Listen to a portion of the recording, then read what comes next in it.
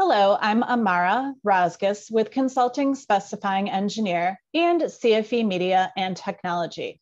I'm excited to do this quick one-on-one with Vassilis Skardis today. Vassilis is a principal with Salas O'Brien, and he has 42 years of experience on a variety of K through 12 higher education and institutional projects. He has extensive experience in planning, programming, and design for renovation and upgrade of existing facilities that are occupied with minimal disturbance to the occupants.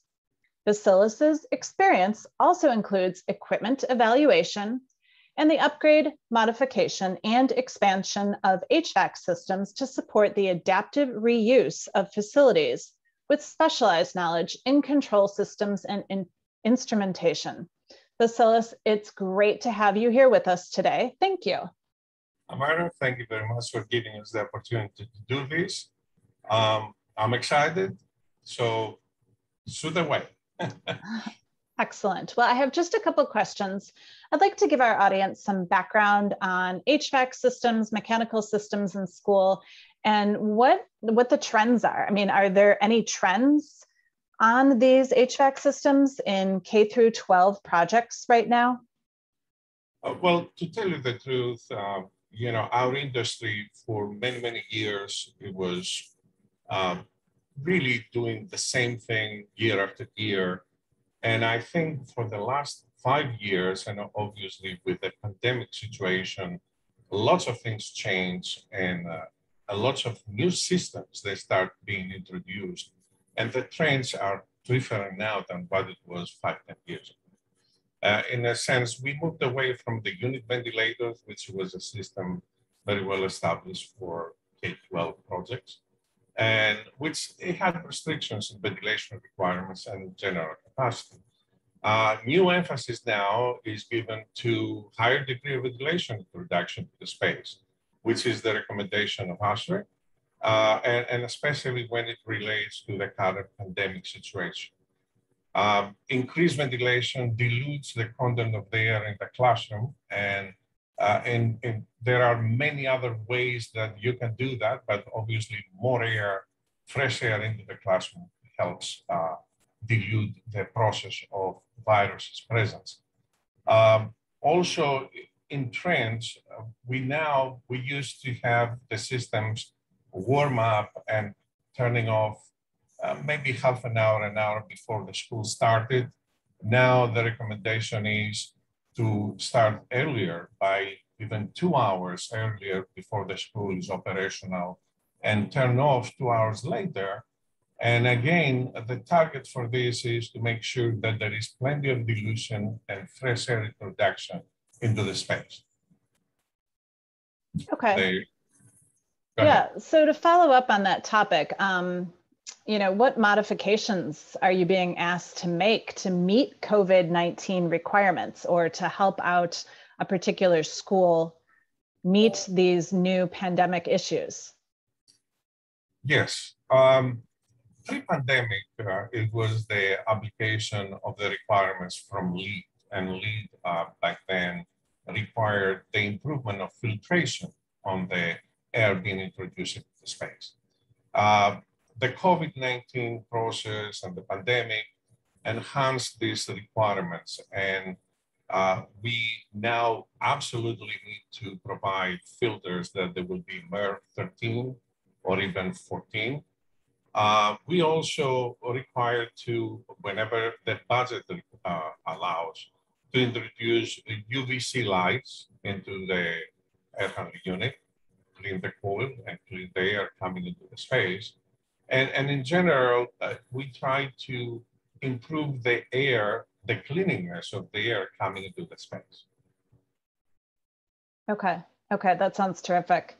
Um, just shifting gears a little bit here, talking about new technologies, new trends, what are engineers doing to ensure projects, whether it's a new project or a retrofit, meets the challenges of emerging technologies? Yes. Um, in existing structures, we making sure that we create a matrix of options associated with the cost of the solution. Uh, while money should not be a problem when we design it for the health of our students, the reality remains that the given budget must be met. In most instances, we try to calculate the ability of the existing units or building to handle higher ventilation airflows. In other cases, we provide DOAS units as rooftop units installations to introduce treated, pre-treated fresh air into the space coupled with VRV systems, cassettes, uh, fan coil units, things of this nature. In other words, we don't have the traditional VAV system that was there before, but now we creating a fresh air unit, the DOAS, which is dedicated outside air system, uh, coupled with uh, another system that uh, handles the uh, loading of, of a sensible load of the building, like the people inside, the equipment, things like that. Um, there are many new emerging technologies, one of them being needle point ionization. Uh, this is a little generator that you can put inside the uh, supply duct of their 100 unit and generates ions, which uh, when they meet the viruses into the space, um, they, they dissolve them and they, they make them bigger in sense that the filter can capture them and remove them for the space. Uh, needle point ionization, it's a, a preferred system to me personally because there is also bipolar ionization.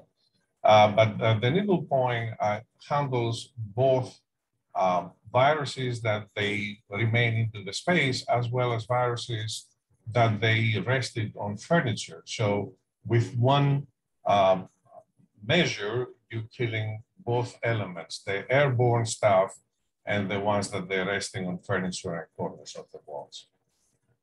Okay, yeah, that's some pretty interesting stuff. Yeah, so kind of looking ahead a little bit, what should mechanical engineers or others responsible for HVAC systems consider when designing or retrofitting in schools in particular? they they need to, uh, as I mentioned, they need to make a matrix of, of what is the available options and, and what is uh, fitted for the particular school because it's not one size fits all. Uh, depending where the school is uh, uh, located, let's say if it is in an area of heavy industrial, you know, production, maybe a lot of outside fresh air might not be the good thing for the school and we should concentrate more in filtration and ionization on things of this nature. Um, if a school is in a setting that is in the rural areas of the city with a lot of trees and everything else, increasing the ventilation will be very good for the school. Uh, so like everything else that is happening now with the labor and the new engineers, we need to be uh, careful that you finish school that doesn't mean that for the next of your life, you're going to have a, a, a, job security. You need to keep yourself abreast with all the technology, whatever the new uh, systems that are coming out uh, and they're available, you need to know how to utilize them and more importantly, where to utilize them on a situation like a new school or an existing school. So I expect them to go through uh, a lot of mentorship with older engineers and, and really find out how they're going to apply these new technologies into an existing or a new school. Okay, okay, cool. Well, thank you very much. I appreciate your time today. I've been speaking with Vassilis Skardis about schools, and that's it for now. Thank you so much. Thank you very much.